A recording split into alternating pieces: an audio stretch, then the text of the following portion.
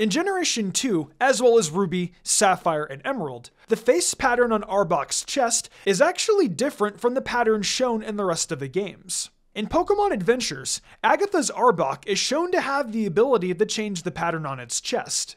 In the Pokemon Adventures manga, Arbok is shown to have the ability to regrow any parts of its body as long as the head remains intact.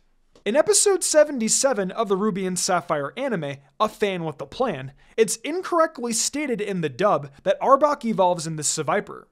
Arbok is the last Pokemon featured in the Kanto Pokerap.